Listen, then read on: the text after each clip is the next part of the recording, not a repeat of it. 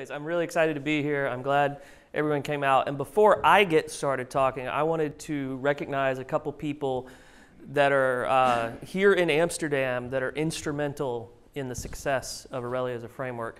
And the first is Erik here. Erik Lieben, uh, he works here in this building for this company, that, whose name is escaping me right now. But uh, he built a Visual Studio Code plugin for Aurelia. Um, and it was so awesome that we immediately asked him to join the team. Uh, I'll be using it tonight in my demos, and it, it really is a great piece of work. So thank you. Can we give him a round of applause? The next person is Wesley, right there. I'm not even going to try to pronounce his last name. Uh, he has done so much through the, the last two years with Aurelia that I can't even name specific things. But he's been there basically since the beginning. Uh, he's not on the core team, but he, he does enough work that he might as well be. So thank you for all the work you've been doing to help the framework. So. And now, finally, let me butcher Jeroen. I, I don't speak Dutch. I, I don't even like know how to pronounce words in Dutch. So, anyways, Jeroen uh, is a saint.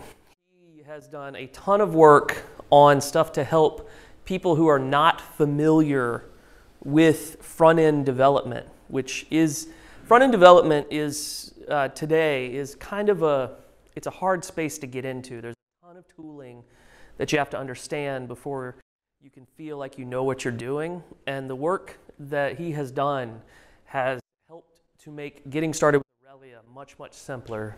He helped build a tool called Monterey, where you can new up an Aurelia project just in a desktop application and it will get everything set up for you. You don't have to use the command line. That was awesome. He also, is anybody here familiar with Kendo UI? Yeah, okay. Kendo UI is a suite of uh, UI widgets that have been around for five or six years now. And uh, and Jed also, Jed Ayung here, he came with me from Tallahassee. Uh, they helped on the team, but especially you did a ton of work to get Aurelia wrappers for Kendo UI's widgets built. So thank you for all the work you've done.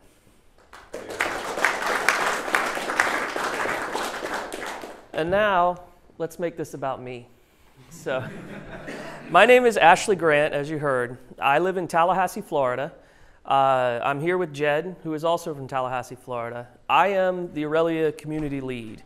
Uh, I started out on the Aurelia framework uh, before we went public, and I knew nothing about front end development at that time. I didn't understand why I was being invited to join the team, but I took the opportunity and now I get to go around the world and talk about Aurelia, which is pretty cool. Uh, I am an Amsterdam virgin. This is my first time here, and this is a beautiful city. It's just there's a lot of marijuana here. uh, and also, I'm a pilot, a private pilot. I like to fly airplanes, and I'm a car nut. Is anybody in? I don't get typically get too many car nuts when I speak at software developer conferences. But, anyways, the fact that I started out knowing nothing about front end development and now I'm able to go around the world and teaching people about this, for anybody who is, who is completely green, has no idea about front end development, or the last thing you did with, or the most complex thing you've done is build some jQuery stuff, uh, don't be afraid. It's not as hard as people like to make it out to be. Okay, so today we're going to talk, well, tonight we're going to talk about what Aurelia is. I'm going to do a couple demos for you, and then I'll give you the current status of the framework and where we're going to be going over the next couple of months. So, what is Aurelia? Now, I just want to warn you, this is the marketing slide, and I hate doing this slide, but Rob Eisenberg requires me to, so you guys get to deal with it. So, but there's some good stuff on this slide. Aurelia is just JavaScript. Okay, if you go look at our source code, you'll see that it's just straight up JavaScript. It's ES 2015 and ES Next. Uh, we do have typing in there, but it's not TypeScript. Okay, and you can write Aurelia applications using straight ES 2015 code. You can actually write Aurelia applications using ES5. I don't recommend it, but I did it last month, and it is possible, okay? Uh, but you could also, if you like TypeScript, do we have any TypeScript fans in the room? Yeah, a bunch of you. Uh, you get a great first class experience using TypeScript, but you're not tied to TypeScript. There's a lot of people who, for one reason or another, don't want to use TypeScript and they want to just use plain old JavaScript. And Aurelia allows you to do that. Aurelia is built as a collection of collaborating libraries, okay? If you go to our GitHub page, uh, github.com slash Aurelia, you'll see a ton of repos there, okay? We separate out our code into separate modules that pull together to create the framework as a whole. And this is really cool because you can take parts of the framework and say you're not building an Aurelia app. Maybe you're building a Node.js app, okay? And you would like to have a dependency injection provider, okay? You can use our dependency injection provider to build your Node.js app because our dependency injection provider is separate from the framework. You can just pull it in. And in fact, uh, just the other day, I saw a TypeScript team member post on a GitHub issue that he hasn't used Aurelia yet, but he has used our dependency injection provider for some of his applications that he's built. And I, I was like, finally, I've been saying that for 18 months on stage and someone did it. And I was really excited. Well, Aurelia is used to build JavaScript clients. And you see here SPA, single page application. A few years ago, that meant websites, web applications that you build and they run in the browser on the desktop. And then we started getting stuff where you could wrap it up and put it into a mobile application, stuff like Apache Cordova. Uh, nowadays, though, you can use the web technologies to write desktop applications. You can write mobile applications that don't even have to be sent through the device store. You can use stuff like progressive web applications. This is a very exciting space to be in, and Aurelia empowers you to build that because we leverage the modern DOM and web components technology. Who here has been, has been told that the DOM is slow from probably someone who uses a framework that has a virtual DOM? Nobody? Okay, one, but you came with me. Yeah. the DOM used to be slow, okay? The browser vendors, though, have done a ton of work over the past couple years to make the DOM fast. And because Aurelia works directly with the DOM to swap things in and out on the page, instead of having a virtual DOM over here and the actual DOM here and doing diffing or whatever, allows us to be really, really fast at runtime. Okay? We have demo, uh, we have demos that I can show you, just not tonight because I just blew away Windows on my laptop, uh, where Aurelia is say, updating the screen 160 times a second, whereas React can barely chug along at 60, okay? And that's not saying anything bad about React, okay? But what I'm saying is that the fundamental design of Aurelia, because we work directly with the DOM, is actually a good thing, despite so many people on the internet claiming it's a bad thing. So the philosophy of the Aurelia framework, first off, we're open source. MIT licensed, it's a very permissive license. You can use it, you can do what you want with it. Aurelia is free, it will always be free. We support, we write clean code in the framework, okay, except in our templating repo. That got ugly to make it fast. Uh, but we want to help you write clean code. And the simplest way to do that is through the use of conventions, okay? Using conventions, strong conventions in Aurelia, allows you to write just your code and not a ton of boilerplate. Okay, not a lot. Is boilerplate a word y'all are familiar with? Yes, yes, okay. Uh, you're not writing a ton of code, a, a ton of boilerplate code. You get to concentrate on your code. When I write my demo here in a little bit, you're going to see that 80% of the way through, I'm not using any, I'm not pulling in any modules from the Aurelia framework. And that is super powerful okay? Because say that you start using Aurelia and then you decide you hate Aurelia and you want to move to something else. Your code is not Aurelia code. Your code is your code. That's that the most powerful thing a framework can do is get out of your way and allow you to do your job so that you can go home to your family or come to a meetup and eat pizza. We support modern tooling. Some of the people in this room have helped with that. You know, we, uh, we have a CLI that will help you build applications easy. If you want to use Monterey, you can do that as well. Uh, we also, all of the modern JavaScript tooling that you, that you hear about, read about online, we use that. Babel to transpile ES 2015, ES Next code, or TypeScript. We use all of that to come together to build a truly modern framework. This is my least favorite line of this slide because it's totally Rob Eisenberg. Testability, maintainability, extensibility. But it's an important line. When you write Aurelia code, because the framework gets out of your way, the code that you write is going to be very testable because you're not having to figure out how to mock up the framework. It's going to be maintainable because it's less code, you know? And the code that you write in Aurelia is we enable you to write extensible code, extend HTML. Obviously, this one's right. Look at how many people are in this room, okay? So, if you have not ever used Aurelia, who in this room hasn't used Aurelia? Okay.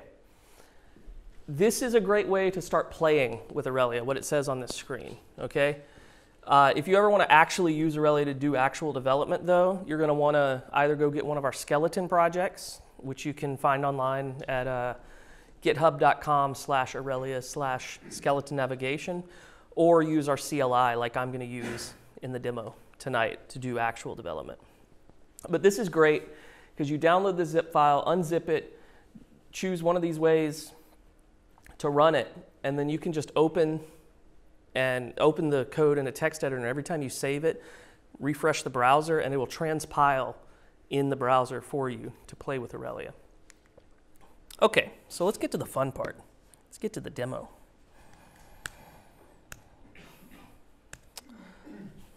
So first, let me show you our CLI.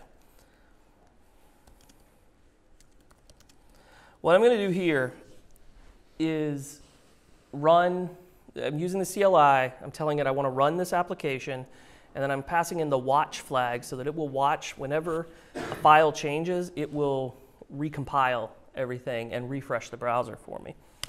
Now this takes on this computer takes a little while to start. Oh no, it went fast that time. Okay, sometimes it takes like 10 seconds because Node is weird on Windows. But anyways, we get this up and then you, you see that the application is available at localhost 9000. So I'm going to go over here and you see that I have a hello world, which is mind-blowing, right? This is, if you run AU new, if you inst install the Aurelia CLI through npm, npm install dash g Aurelia dash CLI, and then run AU new, go through the prompts, and then uh, launch it, this is what you're going to see. Okay? But that's pretty boring. Who thinks I should write a to do list? Okay. I, I, I'm not going to do that tonight. I'm going to recreate our skeleton for you because that's awesome. Yes. Yeah. Just a very short one. The, uh, can you use Watch without running the Node.js server or not? Not currently, no. Um, the watch command is basically for development. Yeah. So you could, I mean, you could use it and have another server on a different uh, port that you were actually serving from and just have it watching uh, or have the CLI watching and, and recompiling and rebundling everything. Uh, but as far as I know, and I, I think Jed's going to frantically find out if you can, but uh, as far as I know, those two things are actually. Can you do AU build dash dash watch? So build with Watch doesn't work Okay, we'll we'll try and make it work. So, anybody in the room want to make that work? So, anyways, so we've got hello world, okay, and we're going to see right here with just this small amount of code, we're going to start seeing the conventions in Aurelia coming to life for us. First up, I've got a view model. Aurelia is an MVVM framework, model, view, view model, okay. It, takes strong data binding and just makes it work for you. But the thing is, you'll notice this is just a, a bog standard ES 2015 class. There's not, it's not inheriting from an Aurelia view model class. I'm not importing some module and decorating or doing anything. This is just my own code. I have a constructor. I set a message property on my instance that says hello world. That's it. Now, by convention, when Aurelia starts up, it will pair up view and view model files based on the file name. So in this case, we have app.js. It's going to pair up that with app.html. Okay, I didn't have to specify that. You can override the convention if you'd like, but for most applications, the convention works. Okay, so here you see our first bit of Aurelia's templating language. We have this dollar sign curly brace, and then it says message in there. That's the property on our view model. This dollar sign curly brace comes directly from ES 2015. There's a new feature of ES 2015 called template literals. Okay, it's a string, and you can insert stuff into the string uh, just by using dollar sign curly brace with a something. Okay, and we decided to minimize the context switching that you have to do when you're moving from your JavaScript code into your template code. So we pulled that feature from ES 2015 and put it into our templates. Okay. That being said, this is a fairly boring application right now, so let's, let's make it do a little bit more. So I've replaced our original app class with uh, a class called welcome, and there's a couple things going on here. First, at the top of the screen, I'm importing Bootstrap's JavaScript. That, this is not Aurelia, this is just Bootstrap. Okay, I'm saying load the Bootstrap JavaScript so that it works. Now I have a class, I'm exporting it called welcome, and I have three properties. Here I'm using an ES20 2017 feature called class properties, and I, am setting heading, first name, and last name, and I'm initializing these properties, okay? I also have a getter for full name that uses that string interpolation that I talked about earlier to uh, append the first name and the last name with a space, okay? And finally, I have a function here called submit and it just pops up an alert with the full name. It says, welcome. Notice again, there's no Aurelia code in here. I'm not pulling in anything. The, the word Aurelia does not, oh yeah, you can tell I didn't update this because it says NDC Sydney. Sorry about that. Uh, but there's no Aurelia specific code here, okay? So now I'm going to come over here to our app HTML file and I'm gonna pull in a template. Now, here I'm loading Bootstrap's CSS first, okay? And then things keep going. This require element is how you load resources into a template. And so in this case, I'm loading CSS as a resource. Aurelia will go and add this CSS into the browser for me. You see the string interpolation used again on the heading. And then we come down here, I've got a text box. This is the first time you're seeing how data binding in Aurelia works, where we want to do two-way data binding, or we want to bind something but not use string interpolation. The way Aurelia works with data binding on properties uh, or attributes for HTML, in HTML is to use dot bind, the attribute name dot bind, and then you set, e set that equal to whatever property on your view model that you want to bind to okay? And this can be a complex property, like if you had, say, a property called model, and it was for, for a person, it had model.address.line one or something, or dot country. It, Aurelia will see that and it parses that, creates a little abstract syntax tree, and uses it, okay? Now, out of the box, Aurelia has conventions, as I talked about. And those conventions are there to help you. When you're working with a text box, chances are you want to do two-way data binding on that text box's value, right? Normally you're going to want whatever happens in your view model to be propagated up to the text box, but also anything the user does, you want that propagated back. So by convention and by default, Aurelia will give you two-way data binding on, the, on properties or on attributes where it makes sense, okay?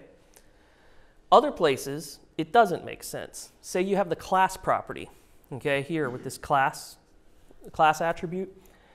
The user's not likely to update that, so by default, we make that a one-way data binding from the view model into the view, okay?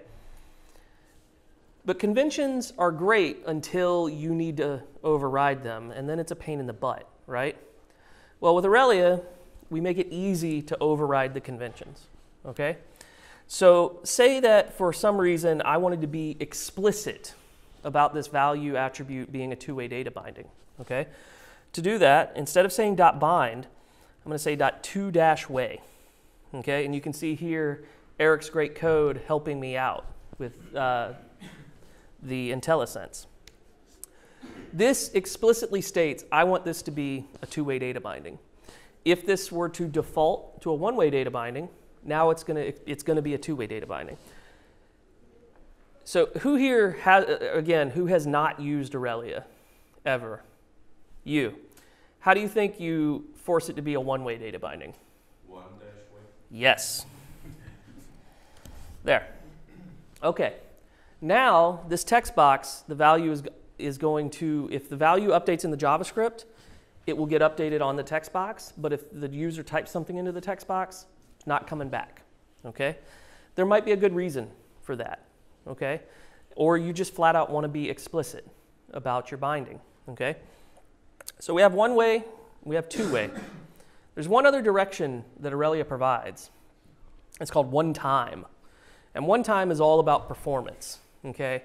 Say this heading here, that's never going to change, okay? I want to do a one-time data binding on that, okay?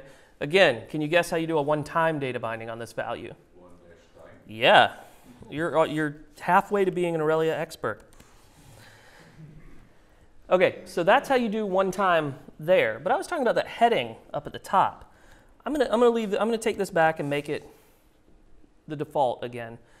But when I'm doing string interpolation, what if I want to make this a one-time data binding, right? Well, we provide something called binding behaviors, and I put an ampersand in here. I just do one time, and I hope that's the right way. Anyways, you just do one time, and now that is a one-time data binding, okay? And the, the two-way and the one-way work just as well. I'm gonna get rid of that for now. Okay, so I just spent five minutes talking about a text box, why right? would be two-way binding in an H2? uh. That probably wouldn't make sense, but if you wanted to do it, we'll help you out. So uh, maybe if it, it- it- there's like a content editable that you can do that might make that make sense. Okay.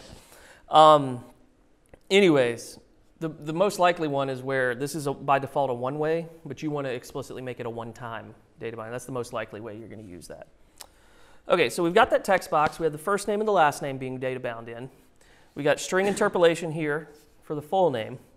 And then we have a submit button down here. And when you click that, this form element, its submit event is going to fire. Okay?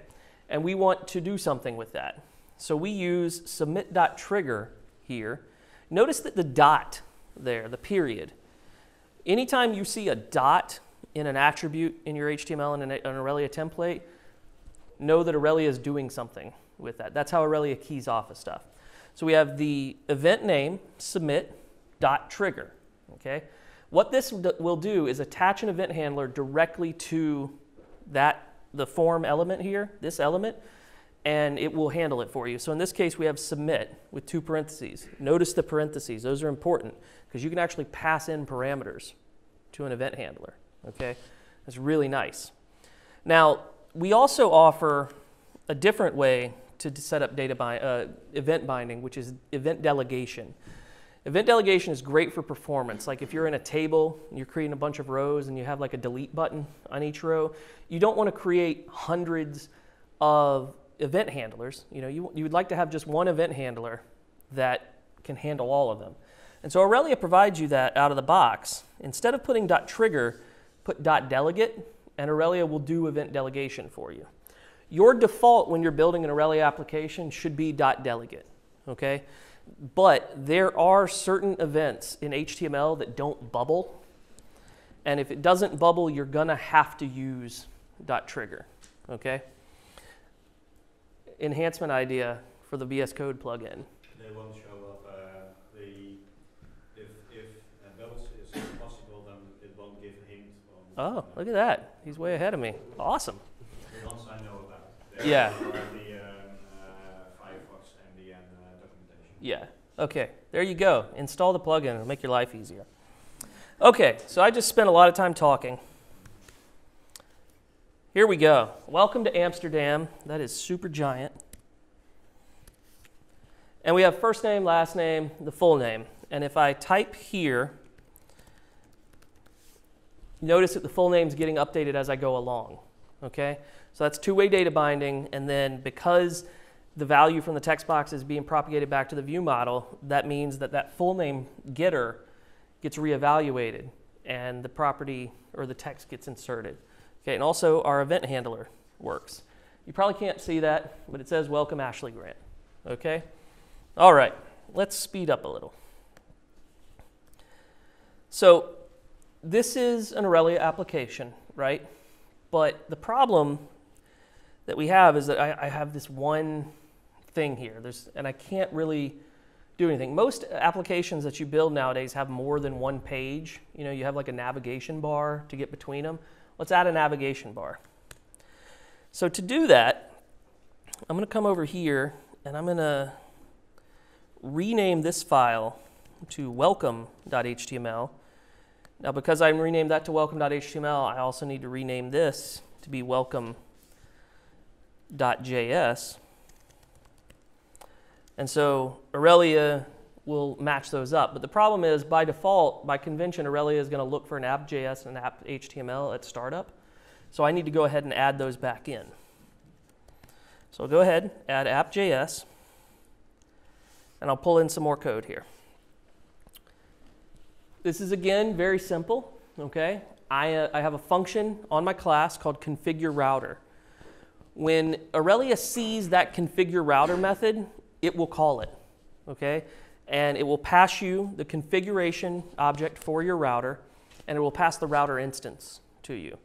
And you can use that to configure your router, and then if you want to hold on to that router for some reason, like to build a nav bar, you can set it as a property on your view model. That's all we're doing here. And I've created a single route, okay, uh, that points to that welcome route. Uh, and it just has a couple properties. I, I, route either the empty route or slash welcome. Uh, I name the route welcome, which allows me to, it's a named route. So if I want to route to it by name, I can use that. I tell Aurelia this route matches the module ID called welcome. And for Aurelia, it knows that that's welcome.js and welcome HTML. I tell it that this is a navigable route, and you'll see why that's important in a second. And then I give it a title of welcome. That's it. Okay? Again, no Aurelia code here. Now I'm going to add app.html. I'm going to add a little bit of code here. Now this is a ton of code, right? First off, we have this, we have a, a bog standard bootstrap navbar. So let's not look at that. Let's just ignore it, right? Nobody needs to look at it. What we do have down here at the bottom, though, is this router view custom element. Okay? Now, a minute ago, I told you that if Aurelia sees the configure router method on your view model, it's going to call it. That's a slight lie. Okay? And it's a very important lie for you guys to know about if Aurelia sees in your template a router view custom element, which is provided by the framework, then Aurelia is going to go look for a configure router method. Okay? And I tell you this because it's bitten me, as I have wasted an hour of my life wondering why my configure router method wasn't being called, and it was because I had yet to add my router view. Okay? The router view is a custom element provided by Aurelia that tells Aurelia this is where I want you to shove whatever my router's uh, routing to shove it in to the DOM right here. It's a very simple thing, but it's important to have. Okay. Now let's go look at this big old ugly mess of code for our nav bar. Again, bog standard bootstrap navbar. Probably everybody in here has created one, or at least copy pasted one at some point in their life. I didn't write this, I copy pasted it too. But the important thing to look at is here on line 19. Okay? we have an unordered list, and then we have an li. We got some stuff going on in here. We've got a repeat.for row of router.navigation. This is Aurelia's repeater. Repeaters are very important because without them, we can't repeat, you know? Rob, the guy who started Aurelia, he likes to say that creating web frameworks is easy, creating repeaters is the hard part. There's so many edge cases. But anyways, This is how, when you have a collection of stuff and you want to work on, you want to display it in some way, this is what you use. Repeat dot for row of router.navigation. Of because ES 2015 provided the new for of loop. Okay? That is a new loop that works the way you expect for loops to, to work. If you're a C sharp dev, it works like a for each loop. Okay, now that nav true on the router configuration, this is where it becomes important. Anything that says nav true on its route configuration will get added to this navigation property of the router. And you can iterate over that to build a nav bar, which we're doing here. Here I've got on this class attribute, I'm using string interpolation inside the attribute. Okay? So if the if this route is active, I put a class of active, otherwise I put nothing. And then I create a link and I, I bind on the href property to the routes href, and I use row title. Pretty simple, right? Now down here is one other thing we need to look at. Here I've got a spinner, okay? Just a font awesome spinner. But it displays only if the router's is navigating property is true, okay? Hiding and showing things in the UI is a fairly important thing, right? When you're building applications. So Aurelia provides you with a way to hide and show things. Actually, it provides two. One is the if binding. If.bind will add and remove stuff completely from the DOM. Okay? There are certain times where that is very, very important, that when you're not showing something, it's not on the page at all. Okay?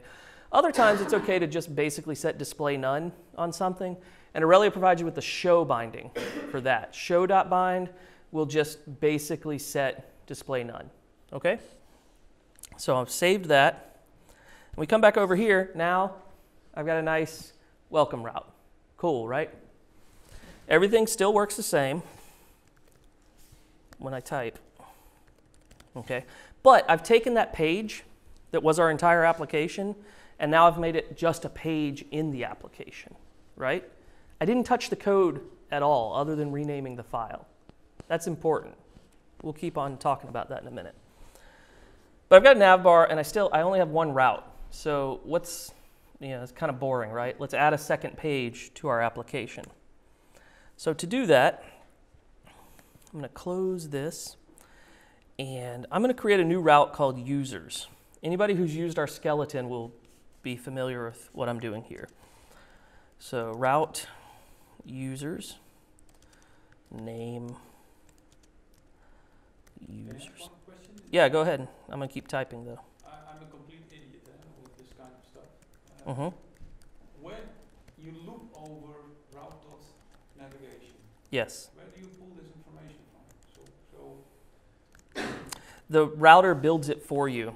Any property, so in your, when this config.map, this is where you give it a list of routes. And any routes that have this nav property equal to true will uh, be included in that navigation property. And the router property gets set right here. We say this dot router equals router. And so Aurelia, once it gets that configuration, it sets everything up for us, and then it runs the So- so repeater. essentially loops over this list for all the property that. Essentially, in this case, yes. But if I, so right now, if I come here, did I save it? I didn't. Okay, so I just added that new route. And so now I've got two welcome routes. Let's change that. So now I've got welcome and users, okay? But if I put nav false, which you will do from time to time, sometimes you have plenty of routes that you don't want to be on your nav bar, it goes away, okay? Okay, so I've added this route, but now I need to add the code for it, okay? So I'm going to come here. Because I said the module ID is users, I'm going to add users.js and users.html. In users.js, I've got another little code snippet. This is the first time you're seeing the word Aurelia in my JavaScript, okay? But the fun part is this isn't actually a part of the framework. This is a helper library that we provide for you. The, uh, the fetch API is an emerging standard to replace XML HTTP request, and it gives you a nice promise-based way to make web requests. So we're using that here, okay? On the first line, I pull in from Aurelia Framework, I pull in the inject decorator, okay? This is a way to work with our dependency injection provider, okay? It's a decorator, which is a upcoming feature in JavaScript. It should be part of ES probably 2018, maybe 2017, we'll see. Uh, but we are able to use it today because Babel knows how to transpile it. TypeScript does as well. So we pull that in. We also have this import HTTP client from the Aurelia Fetch client. And then finally, we import a polyfill in case we're in a browser that doesn't support fetch out of the box. I use that inject decorator here to tell Aurelia, I want you to give me an instance of the HTTP client from Aurelia Fetch client. It will pass that to me in my constructor. Okay? If I have more than one dependency that I want to have injected, I put them in order and then Aurelia will pass them to me in order. This isn't string based. If you're familiar with how Angular 1 did this and all the contortions we had to do to deal with the fact that it was string based when it came time for minification, it's nice. That being said, pretty much every dependency injection provider that you can get in JavaScript nowadays supports this type of thing. Question, Yes. are some of the polyfills not pre-appended? I, I heard it's, Aurelia provides out of the box a set of polyfills that are necessary to run Aurelia. Okay. Uh, the Aurelia fetch client, as I said, isn't part of the framework, so we don't out of the box provide a fetch polyfill because we're trying, we don't want to send you unnecessary code. So in this case, uh, for one reason or another, which there are a couple reasons, the fetch client doesn't out of the box give you a polyfill. Okay. And so I have to pull one in. and would it be possible to configure it in your, in your config to prepend it for you with Aurelia, uh, when you Aurelia bundle? Yeah. No, no reason you couldn't do that. Yes. Uh, You got me curious, what stage of standardization are decorators in right now? I think they're two right now. Um, but they, I will tell you this: uh, decorators will become part of the JavaScript language because Aurelia, Angular, uh, basically every uh, Ember, we're all using them, and so it's one of those things where it's it's not an if, it's a win. So That said, um, just gonna interject. If you don't want to use decorators, and for a long time I didn't, um, you actually don't have to. It's, it's something that you can do, but they, uh, Aurelia provides another way. If you put a static property, uh, like he's doing right now, if you put a static property on your class, um, like if he does static inject instead of using the at inject decorator, um, it actually provides the same functionality. Yeah. So if you don't want to use decorators, or if you if you feel like you have a reason not to do so, then you know you can Yeah. opt out. That being said, I personally I really like the decorator way to do this. The only thing that's a bit of a pain in the butt is that I have to import the decorator. But I feel that this uh, what's being injected into what the dependencies are is that is metadata about the class. So I like to have it outside the class. So, but under the covers, if you go look at the source code for the inject decorator, all it does is write this property into the class for you. So Uh, just a stupid question. Um, there are no stupid questions, just What Jed. What would be, uh, what would be a case where you don't want to use a decorator? Why, why, what? Oh, there's plenty of places where Aurelia provides decorators. Um, I'll show you some of those. Uh, how late do we have this room? Because I've got a second thing. Okay.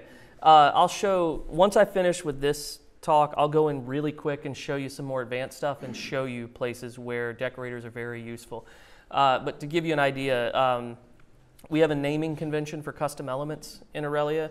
If you need to override the naming convention, you use a decorator to tell Aurelia what you want to name your custom element or custom attribute or eh, other things. So, uh, also, like this class here has got a view, it's got a template. If you wanted to create an Aurelia page or custom element that doesn't have a template file, there's a decorator called noView that you use to tell Aurelia. Okay. So, anyways, so I've got this. In the constructor, I, I configure that HTTP client, tell it that the, the base URL is api.github.com, and then I have an activate method. This is part of Aurelia's router lifecycle, okay? If you have certain lifecycle methods on your view model, Aurelia will call them. It won't complain if you don't have them, though. Okay? So in this case, activate gets called when the route is activated. And this gives you a chance to do anything you need to do before the route is displayed on the page. And that's it's an important thing to notice that this is activate and not activated. Okay? Because that tells you it comes before. Okay? But in when the page when the route gets activated, we will uh, fetch the users list from GitHub, uh, convert it from JSON, and then set it to the user's property on our class, on our view model. The other thing to notice is that we are returning this promise here, okay? What Aurelia will do, if you return a promise from a router lifecycle method, Aurelia will wait for that promise to resolve before continuing. This is really nice. For example, here, where I want to go out and get data before I show the page to the users. Okay, so this gives you a way to do it. If I didn't return a promise, Aurelia will just keep, go, keep on going. Okay, but in this case, I'm, I am going to do that. So now in my HTML,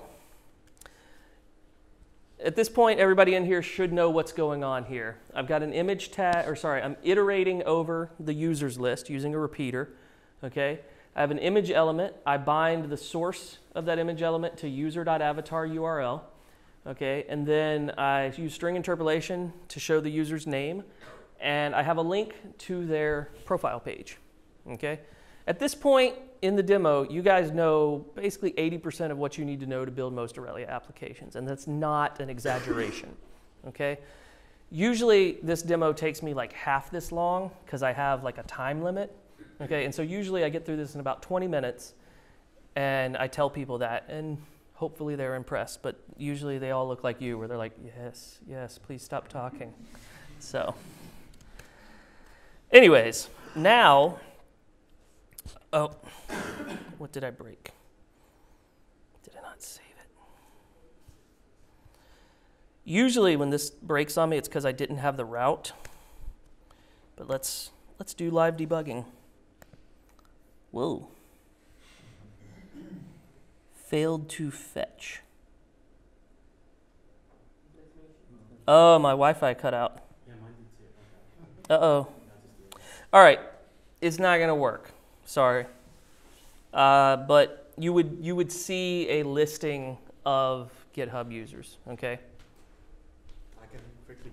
Okay. Can I ask you a bit? Yeah. let- Uh, why do you do the, con- the config and standard configuration go- in the user users.js? What do you mean? Uh, I'm not connected. No, sorry, the Wi-Fi is gone. Oh. Wi-Fi. I love that. It's Wi-Fi. It's after eight. That's fine. That's fine. See, I shouldn't have talked quite as long. That also means that my other slide deck I'm not going to be able to show you because it's online. But hey, turn on your. Does anybody have like? Yeah. Yeah. I can't do it. I can set it to be a. a yeah. Um,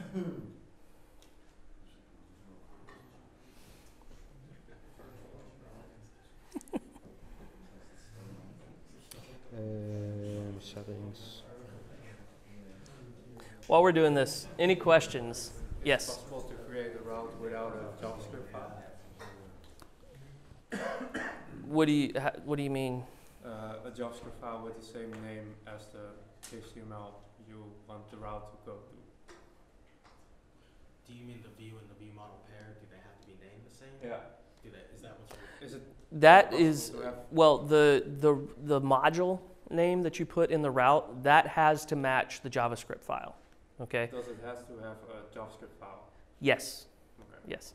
The, um, we do have a way you can create custom elements, Mm-hmm. okay, that don't have a JavaScript file, and I'm going to show that in a minute. But a route, a page is always going to have, well, at least for now, is always going to have a, uh, a JavaScript file. It is on the list of things we'd like to do to create HTML only pages. Uh, I don't know how. Here, let me let me really quick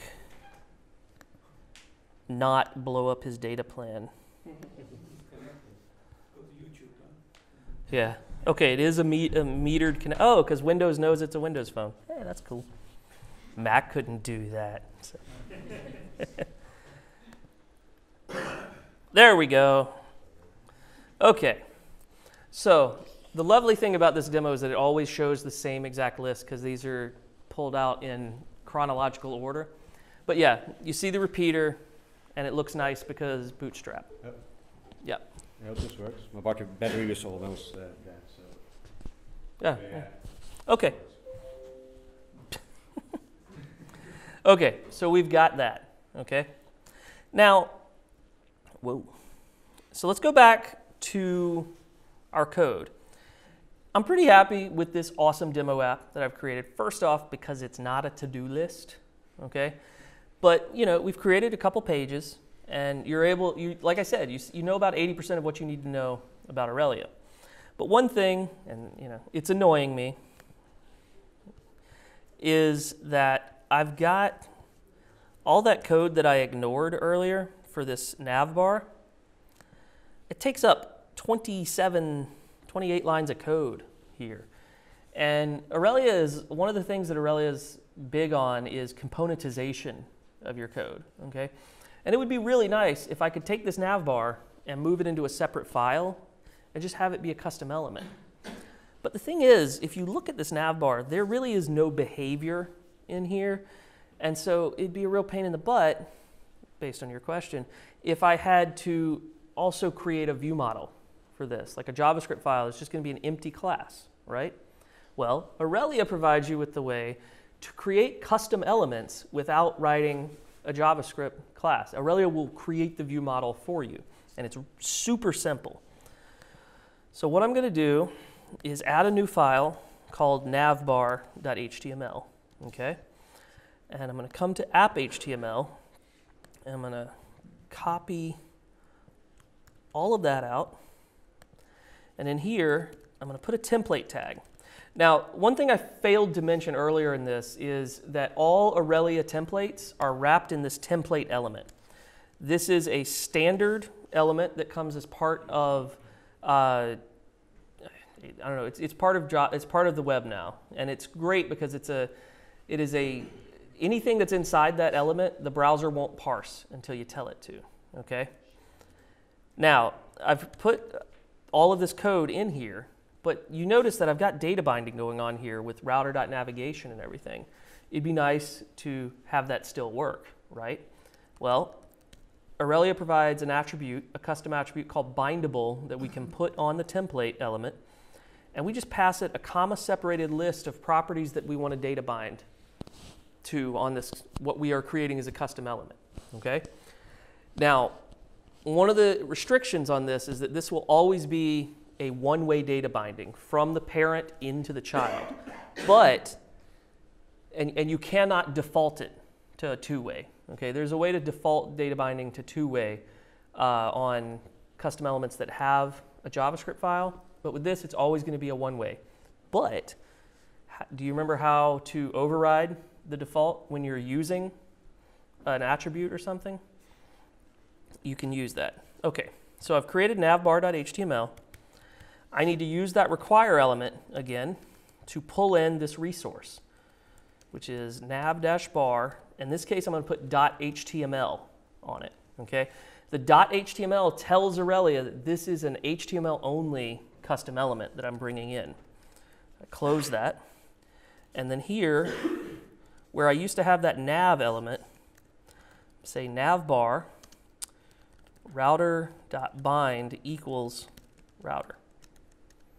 I close that, save it, and this is still working here. I click around, okay, but maybe you don't believe me.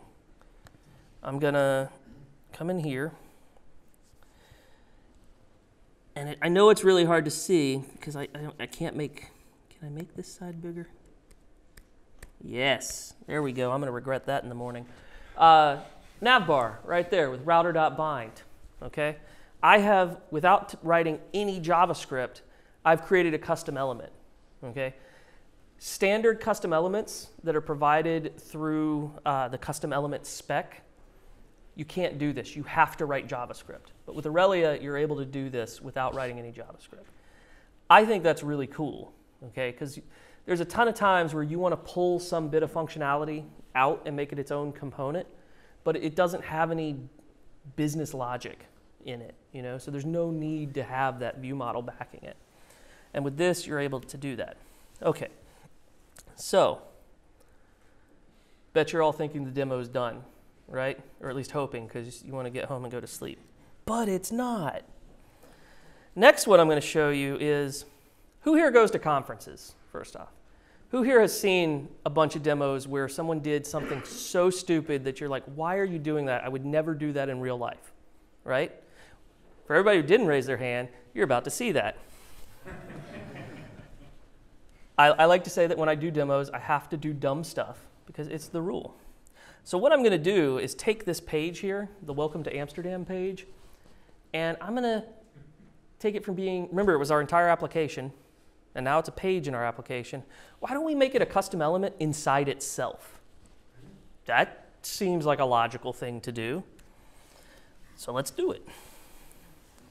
So I'm going to come here, I'm going to close a bunch of files. I got welcome.js and welcome HTML. Now, in welcome HTML, you remember the require element to pull, uh, pull stuff into my template? Well, the welcome component is already available because it's, it is itself, so I can use it. Now, the cool thing in Aurelia is that every page that you create is by default a custom element. Okay? If I save this file right now, I'm going to crash my browser okay? Because it's infinite recursion, right? Now, so I want to I want to add something that allows me to do this on purpose, you know? So I'm going to come up here and I'm going to add a little checkbox.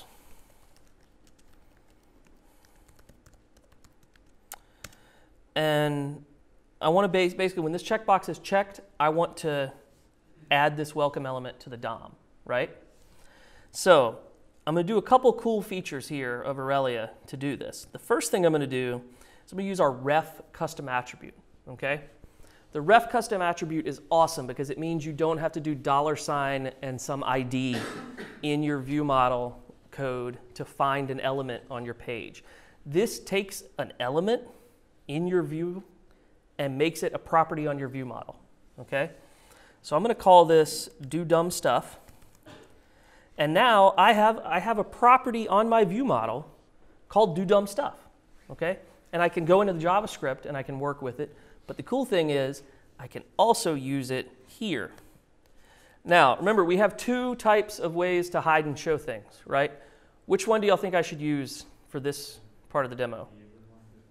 If, yes. That is very important to use if here. So I'm going to say if dot bind do dumb stuff dot yes, not dot value, because the HTML input element is stupid and annoying and it's the worst.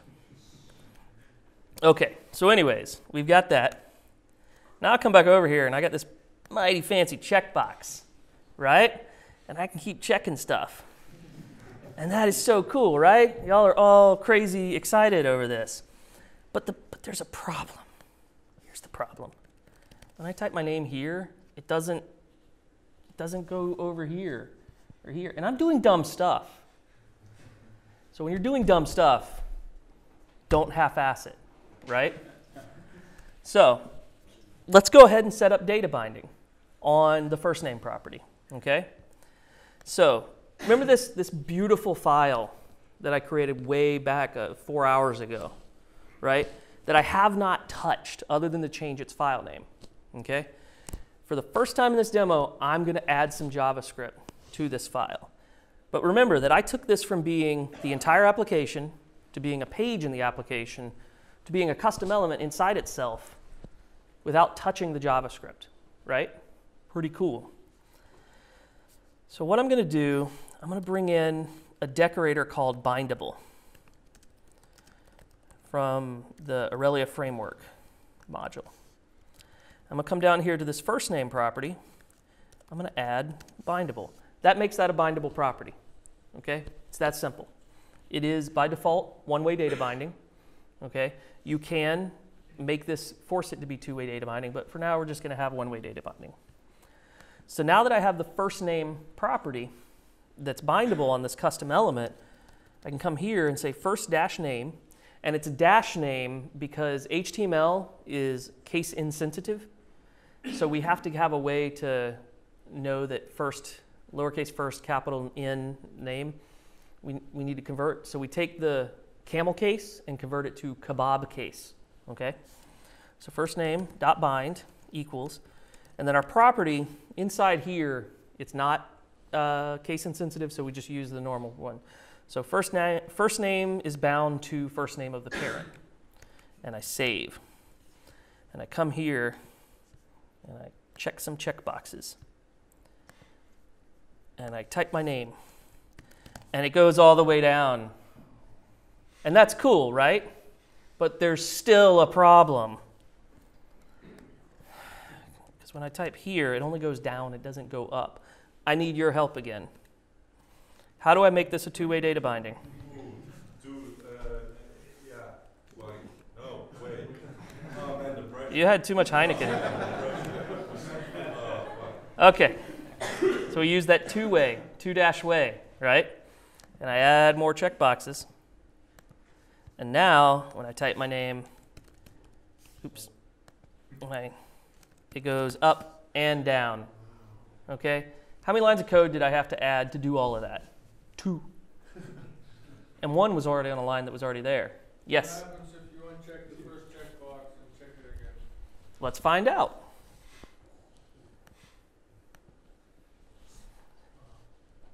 Aurelia holds on. Aurelia holds on to that. Okay? Just because it gets pulled out of the DOM doesn't mean Aurelia's not holding on to that for you. Okay? So, I did some dumb stuff, right? I'm finally happy with the dumb stuff I did. I took our entire application, made it just be a page in our application. From there, it went from being just a page in the application to being a custom element inside itself. And then with two lines of code, I, ga- I allowed it to do data binding to itself. And then with his help, kind of, I was able to set up two way data binding. Okay? You know what I call that? I call it magic. I've given this talk so many times, and this GIF never gets old. I'm never changing this GIF. I love this GIF. Has anybody watched Arrested Development? No? Oh gosh, you'll need to watch it. Okay. So, that was fun, right? You all want to use Aurelia now, okay? So let's see where the current status of the framework is. We have hit 1.0 and we are iterating weekly. We have weekly releases. Apparently, we had a big release yesterday because I saw the tweet, tweet about it, but I haven't had time to read the blog because he's been dragging me all around the city. Uh, we are fully featured, as you saw. You can build real world applications with this without having to write a ton of boilerplate. Our documentation is so kick ass, Rob Eisenberg got hired by Microsoft to rewrite their documentation. That's not an exaggeration. Rob was at Dev Intersection Orlando this spring. Scott Hanselman, who, does anybody know that name? Okay, yeah, Scott Hanselman, who wasn't a fan of Aurelia because of various reasons, he was going to interview Rob, and Rob said, check out our documentation, see what you think of the framework. Hanselman was so blown away with that that it became like an entire segment on the podcast. And then someone from Microsoft who was like a PM or something on the documentation, docs.microsoft.com, sent Rob an email and said, Hey, would you like to write ours? Because we're trying to rewrite it because it all sucks. Everybody knows Microsoft's documentation sucks. Right. Well, it's not going to suck for long because Rob's there rewriting it. Check it out. Uh, Aurelia.io slash docs or slash hub. Just it'll take you there. Uh, we have profile based articles. You're going to love this part. I got to show you this. So if I come here, Aurelia.io slash docs. I still go to slash docs. We call it our hub, but whatever, it'll take you there. This is our documentation. And here's the cool part You have our full API documentation over here. You can click and look at that. But we also have profiles, okay? So if you need a dumbed down version to show your CTO or your manager, we give that to you. Okay? So, anyways.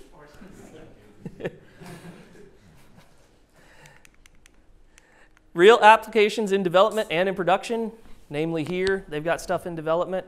Uh, do you guys have anything in production yet? Yeah? Do you have stuff in production? You just do it for fun? Production? Yeah, see? Right here in this room shows that statement is not false.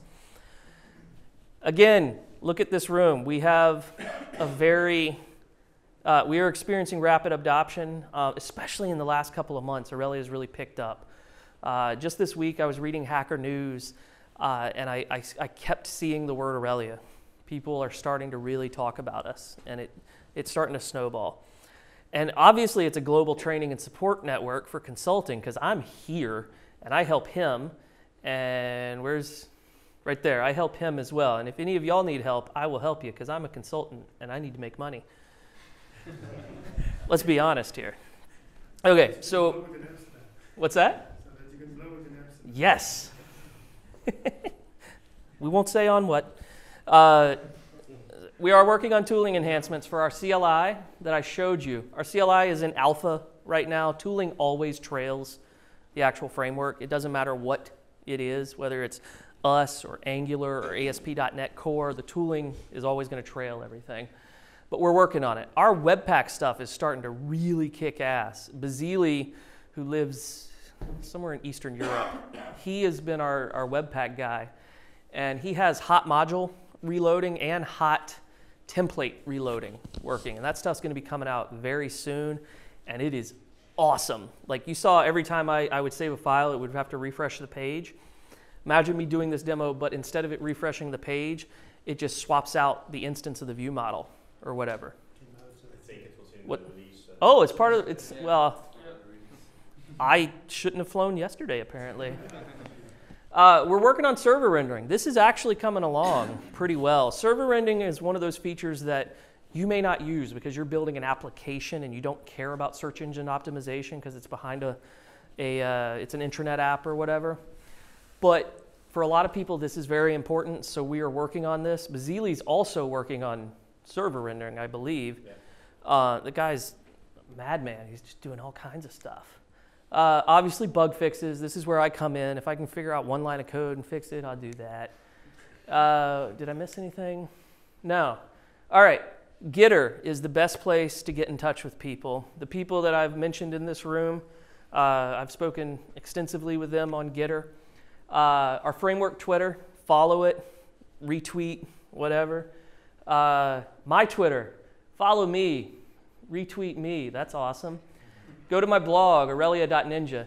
Now, normally here is where I would say, I have a t shirt store, and you can buy t shirts from me at store.aurelia.ninja. But Erik lives in Amsterdam, and he might be able to hook you up with much less shipping than I would do. And, well, I mean, I could make you a hoodie. That's not a problem. But like, obviously, he has a hoodie guy. So, Yeah. some, I have some stickers coming in, but they are late, so they are, yeah. they should be here today, but they're now coming in Monday, so if you want a sticker, uh, come by, the- come by the next Yeah. time, or, uh, give me your mail so I can uh, mail you one. And he was kind of giving a pitch about uh, Effectory. Yeah. Uh, we got a tour today, and I think Jed's going to move to Amsterdam and try to get a job here. So, yes. But, anyways, Talk to me afterwards, yeah. So, normally this is where I would say thank you, and you would all stand up and gush with applause, but I promised you extra stuff. So, let's do that. Let's see here. ashleygrant.github.io slash presentations. Now this this presentation that I'm going to show you ain't as pretty, okay? But it's got some really cool stuff in it. The first thing it has is a title slide. Now, in Aurelia, we give you a toolbox of things to work to extend HTML. You saw custom elements earlier. You also saw custom attributes. That ref, that's a custom attribute, but we provided it for you but you are also able to create your own custom attributes. Now, I'm not going to go deep on this one. I'm kind of going to glaze over things because the payoff at the end is so awesome. But we provide value converters, okay, that allow, they do just what they say. They allow you to convert a binding that's either coming into the view or going out of the view. You can do some magic on it, okay? We provide binding behaviors which allow you to be a wizard, trust me. Uh, custom attributes, you can, there's all kinds of cool things you can do with these. I've seen people use them for jQuery widgets. You just attach a, a an attribute to like a, a div or something, and magically it becomes a jQuery widget. Uh, and custom elements. These are really cool, and it's probably the, the coolest feature of Aurelia is to be able to create your own components that are custom elements of your own HTML without even necessarily having to write JavaScript. Okay, so as I said, value converters convert values. Now, what I've got here is something called gist.run. This is an Aurelia application developed by our core team member, uh, Jeremy Danyow, that allows you to take GitHub gists and run them. Okay? I use it all the time for answering Stack Overflow questions, for playing around with things when I don't want to have to new up a new application. I realize this isn't very readable. Uh, I also realize that for some reason it's not loading. Yeah, or I will say that sometimes my browser has some issue because I use uh, certain plugins.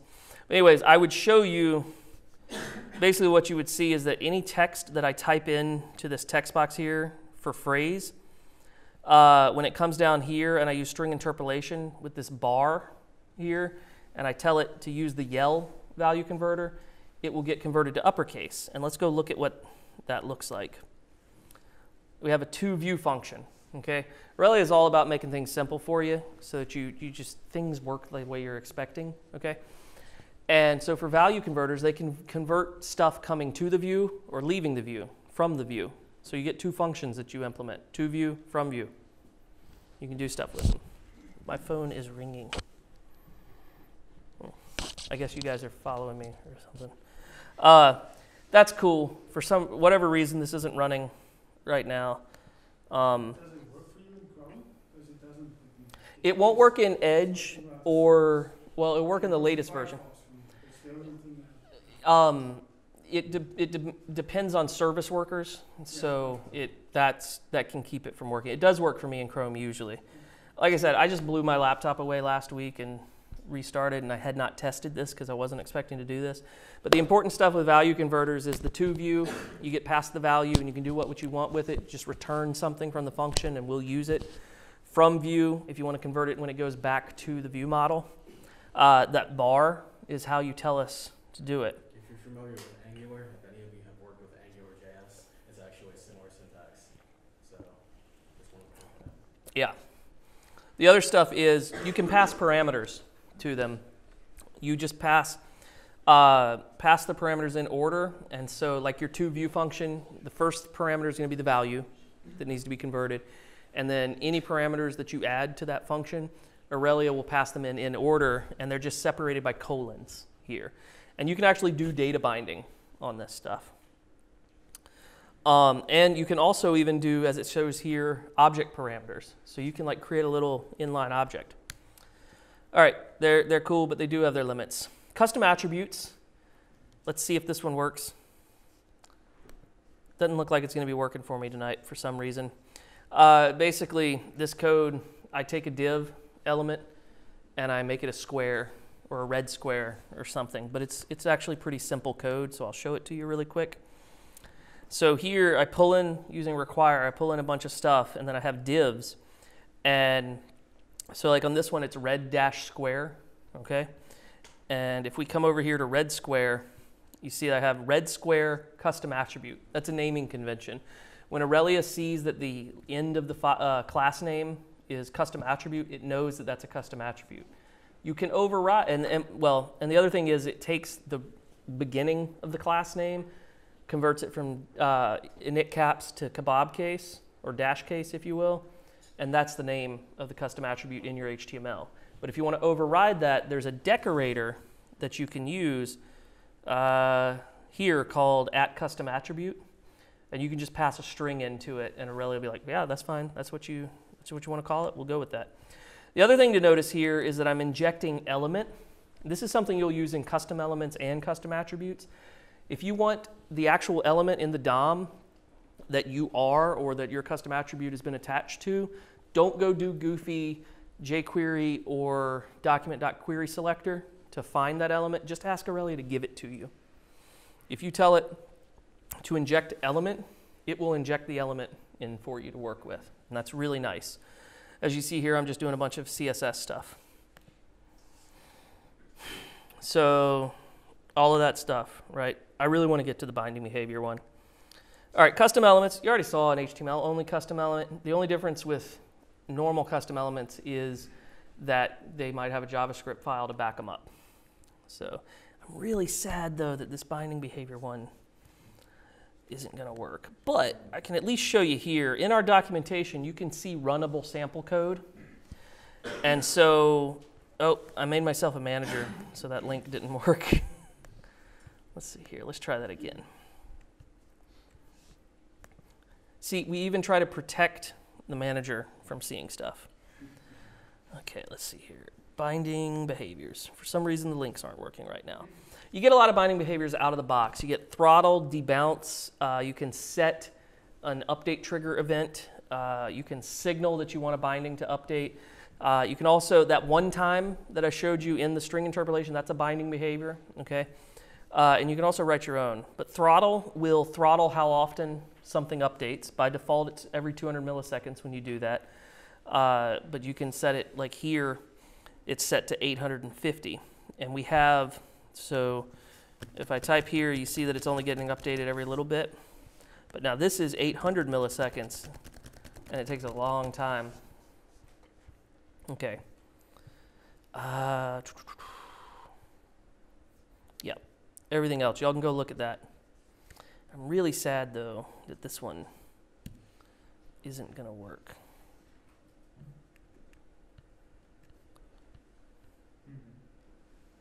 Let me just really quick see why it's failing.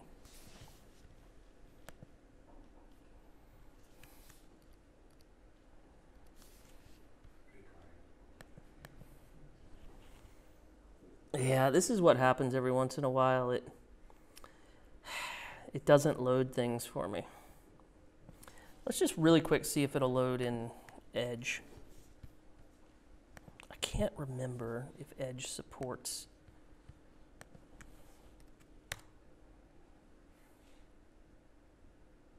Nope, it doesn't. I don't have Firefox installed. So, um, but y'all can check this out. Basically, what this is is a really cool demo where I go away.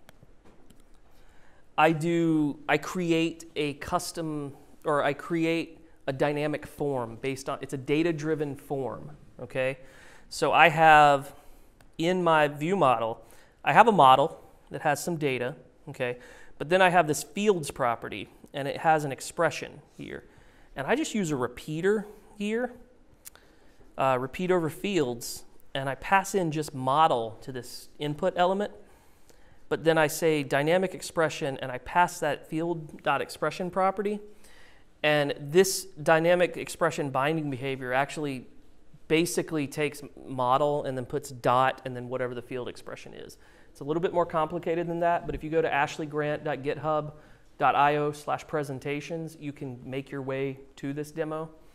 Uh, for some reason, GitHub isn't serving up require.js right now. That's disappointing. Anyways, that's all I have. So thank you guys for coming out. And uh, this, this, meet, this meetup obviously got off to a great start in terms of uh, turnout. Let's keep it going. Uh, you guys get up here and speak.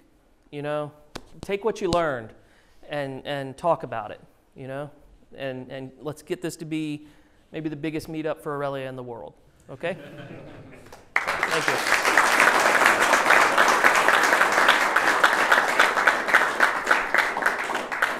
So I'll leave that up in case anybody wants to follow me or anything. So Well, thank you. Oh, yeah. Oh. If, Yeah, and now I have time for That you were gonna be questions. for. Yeah, let me uh, just get a sip of Coke. Go ahead, uh, raise your hands. Yes. Um, I was looking uh, uh, through some uh, other case and I noticed a lot of different uh, ver- variants of uh, loaders and build stuff. Yes. That is a consequence of the modern JavaScript environment where nobody can agree how to do things. Um, and we try to support as much things as we can. So in our skeletons, we have JSPM based skeletons, which is JavaScript Package Manager, that's paired with the System.js module loader, which is the goal with System.js is that it's an implementation of the coming system module loader standard that will be built into browsers. Okay? Uh, but it, it, they're chasing this standard as it evolves. Okay, uh, we also have the Webpack skeleton. Webpack is stupid popular these days, and because of Bazyli, uh, our Webpack skeleton keeps getting more and more awesome. I need to learn Webpack because it just looks really cool. Uh, the CLI is obviously going to be our default, at least for the team and stuff, but it is in alpha right now. And if uh, personally, if I were to be helping a client or something today, I would probably use the Webpack skeleton. It, there is a large learning curve there, though. That's not Aurelia's fault, it's Webpack's fault. But it's a very powerful tool once you get to know how to use it. So. The CLI uses require.js, which if uh, sounds like, oh God, five years ago called. Um, but as you noticed, that app reloads like that. It's stupid fast. And the great thing about require.js is that it's done. Okay? Uh, it's fine. Like sometimes we, we get antsy because we go and we, we check an NPM module and it hasn't been updated in six months and we're like, oh God, is it abandoned? Sometimes things aren't abandoned, they're done. They do everything they need to do, and that's how it is with require.js. And for us on the team building a CLI, we need very stable dependencies. We also need a minimal amount of dependencies. And require.js provides that for us, and it also provides performance um, that is very surprising how good it is. So, yes. Uh, any other questions? Oh, sure, yes. Well, I wanted to say, um, you had a question earlier about the CLI and the build, and that there is a solution to that. I don't know if you wanted me to share this with everyone, or if you'd like to talk to me. No, I don't want you to. No. No, what is it? Um, so the question was, uh, can you do a build watch with the Yes. CLI? And uh, the answer is by default, no. However, uh, as it turns out, the CLI, um, and actually, if maybe you can do this, can you pull up um, just the Aurelia code that you have, just the directory? Um, what the CLI does, it creates an Aurelia underscore project directory, and in that directory, there is an Aurelia.json file, which Mhm. defines the the uh, project and its dependencies. And then underneath that, there's a tasks directory. And what that is, it's actually similar, or not even similar. It's gulp tasks. Yeah, they're gulp tasks. So all of those JavaScript files in there, you'll notice that there's one called build.js, right? So if you want to, uh, if you want to actually make that. Here's watch- run. You can add a watch. Yeah, you can add a watch to the JSON, and the JSON just kind of tells you, you know, what your options are. But if you go into run.js, there's actually some code down there, and all it really does is check for that watch attribute, Mm-hmm. and then it runs a task, right? A gulp task. So if you did want to change Right here. any of these tasks, like the build task, you can actually edit the build task and add. Yeah, you'd probably be able to just copy paste this code. That's make exactly that what I happen. did, and I got it working. Like, All right, submit a PR. I, I can. I don't have. You I poor will, bastard. I- I. But yes, I will submit a PR for that. Jed and I give each other shit all the time, so as you can tell. Yeah. Any other questions? Yes. Do you have some kind of roadmap? Is what's the lies in the future of uh, Aurelia? Uh, you thinking about Aurelia two? Uh, we're yes. Every three months, we're going to produce new breaking changes for you. Uh, no, we follow first off in terms of versioning. Um, we follow semantic versioning for better or for worse. So Aurelia 2 will happen when we, for whatever reason, need to do a breaking change. Okay. Uh, as far as a roadmap, um, I think we publish stuff on our blog from time to time. Uh, we are working though to have like a place you can go, whether it's a GitHub wiki or something, where you can just see these are the things we would like to do over the next couple of months. We have uh, task boards that we use. What is the what is it that we use? ZenHub. Yeah, but that's like private, so because we have to pay for that. We actually pay for a ZenHub license so the team can use it. Um, but you know what? File an issue on our framework repo asking if we would create that, and it'll at least get the topic started. And put in there that Ashley told me to create this so that Rob doesn't just summarily close it. So, yes. so, uh, I think there's been a blog post on SitePoint uh, recently saying like uh, last year what has uh, what, ha- what has happened and what's coming. Uh, Yeah. Rob did write a blog post recently, so check that out. I forgot about that. And, uh, Yeah. Any other questions? Yes. So about those uh, coming up features like on Switch, the server-side rendering and the Aurelia import. Aurelia, what? Import. So Import? Like, uh, like uh, uh, fitting the dependencies in the Aurelia.json Package automatically. management stuff too. Oh, oh, oh, Do you have a oh. time frame for that? Not that I, okay, on the, the, he's, working on an import uh, module for the CLI, so you can say, hey, you install Aurelia desktop. this is what I, like, I was, we were literally having a beer earlier and I was like, I wish somebody would write that because I don't want to. And apparently somebody's writing that. It will actually download the module via npm and then configure the Aurelia JSON based on the package that you installed. Yeah, sweet. And we have the specification of that, and we are actually starting the implementation. We're working on it right now. Uh, Yeah. so- And then the other thing you asked was what? Hot module or server rendering? Server side rendering is coming along. Uh, okay, and uh, Bazyli has server side rendering, the initial version already working, uh, but it is not at all ready for public consumption. But that being said, Bazyli works quickly, so it could happen like in a month. It could happen in six months, but hopefully sooner, because that is a feature we have to have just to. It's a checkbox, you know. It's important for some people. It's completely unimportant for others, but it's a checkbox that is very glaring. So, yeah. Any other questions? Yes. Migrating from the JSPM skeleton to uh, CLI, Yes. would you recommend that? Or Yes. I am the person who has to maintain the JSPM skeleton, and it is a massive pain in the butt. So the fewer people that are using it, the easier my life. But no, seriously, JSPM and System.js are very slow, unfortunately, and the bundling situation. Uh, yeah, and it suddenly it'll be great, and then a week later JSPM will break something, and it breaks it for us. Um, Guy Bedford's an awesome guy. I've spoken to him, and he's he's great. But I personally am I, I don't use the JSPM skeleton except when people ask questions on Stack Overflow specific to it, or when I'm trying to fix something on it. So I use the CLI personally, but there are shortcomings to the CLI. As I said, it's an alpha product, and so uh, the most full feature would be the Webpack one right now. The Webpack eventually and hopefully soon is going to be implement is going to be integrated into the CLI. So it'll just be a, an option, and then that'll be best of both worlds.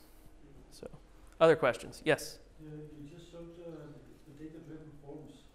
Uh, how far can you go with that?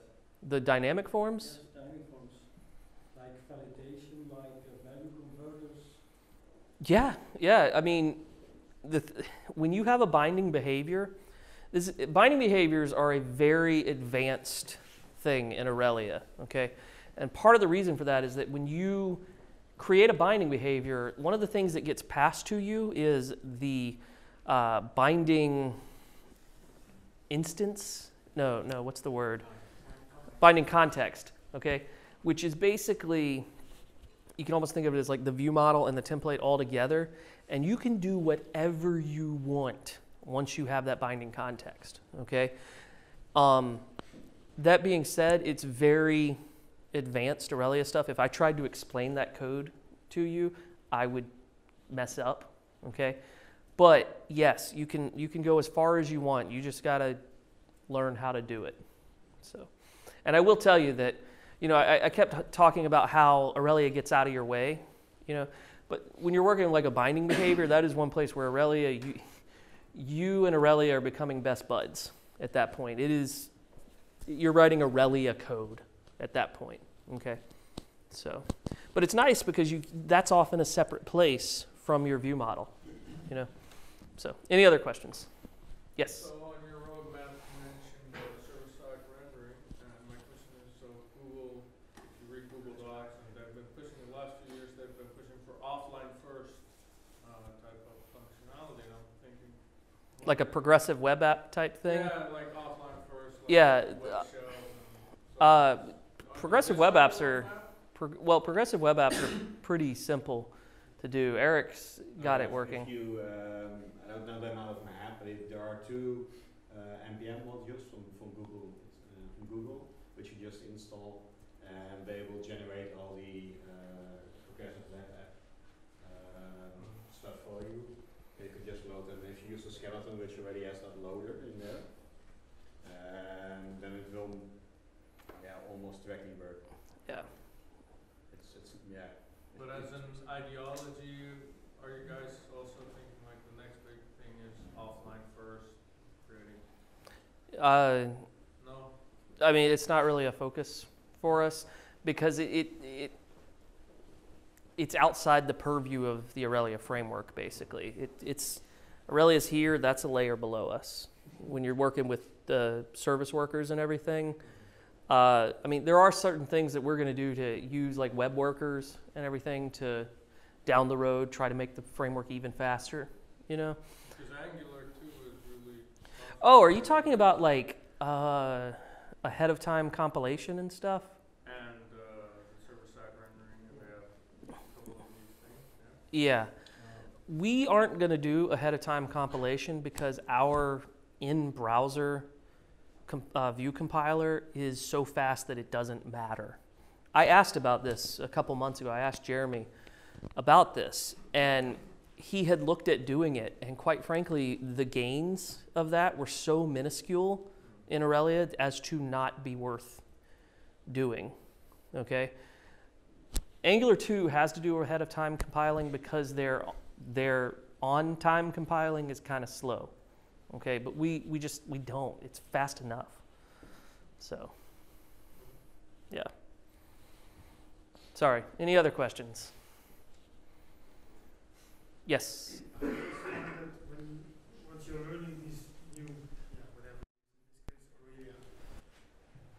it's quite easy to explain how to make like a element, how to create a, a, data converter, hmm kind of stuff.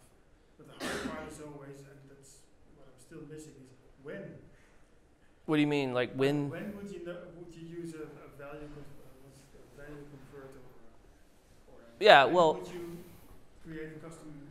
A, a place that you would use a value converter would be say you have a time, like a timestamp, Mhm. and you want to convert that to a fancy, a nice looking, like 32 seconds ago and everything, you're going to use a value converter to take that timestamp and convert it into that text, okay? And then you're going to use our uh, update trigger binding behavior on top of that to have that update every 30 seconds or a minute or whatever. Would you use such a thing for, for reference tables, like, uh, okay, yeah, I have a country table and I just, you know, Possibly, yeah, yeah. thi- I mean, We'll talk about it next week, though. So. I, I got a call with him next week. So that's that's uh, more than I can answer in two minutes at this Yeah, talk. So yeah, yes. Uh, our skeletons use Jasmine and Karma. Uh, that's just because when the skeletons were originally created, those kind of were top of the charts. The skeletons also provide support for Wallaby. That is that the name? It Wallaby? Yeah. Uh, huh? Yeah. Uh, to. Yeah. So that's out of the box with our skeletons. That's what you get. Uh, with the CLI as well, it uses, um, and then also for end-to-end testing, it uses Protractor.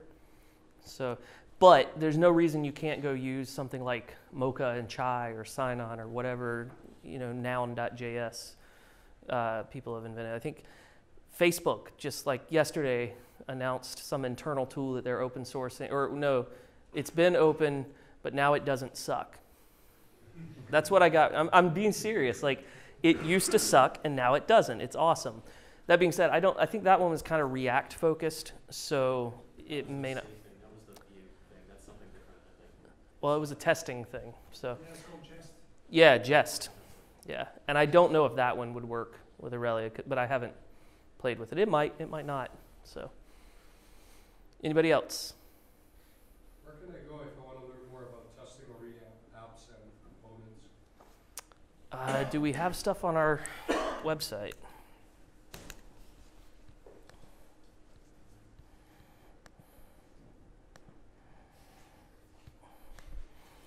Go here and click testing. And we have documentation of it. That being said, this is JSPM based, so it might be a little bit out of date. Um, that would be where I'd start, and then I would just Google Aurelia testing, and there's going to be blog posts. So. And if you find that this documentation does not suit you and you would like to fix it, you can submit pull requests on the documentation on GitHub, and that makes you an Aurelia contributor. I mean, even fixing a typo in our documentation makes you an Aurelia contributor, and you can put that on your resume. So, no joke, a member of the Angular team submitted a typo fix to our documentation. So now he's an Aurelia contributor, or she, I, I don't know. So, next, any more questions? Yes, Uh, how about uh, uh, Aurelia UI? Is that still? Uh, Aurelia what? UI? yeah.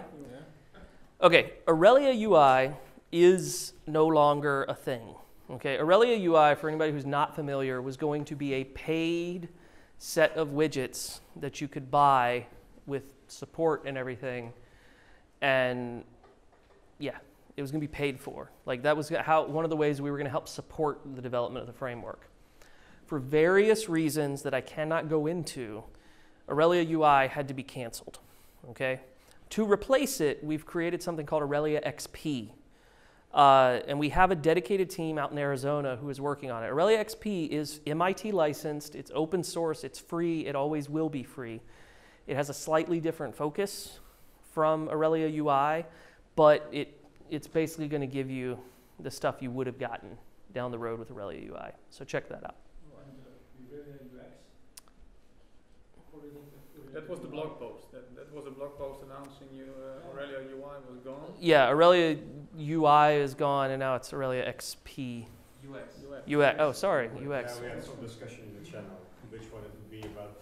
I've, I've gotten three hours of sleep in the last like 48 hours or something, so forgive me. Sorry, Aurelia UX. Aurelia UX has a very cool um, binding syntax also in, in CSS itself. which is Yeah, that's a cool use. part. The, the, the bindings uh, for CSS is really. Let me pull that blog post up. So our blog is at.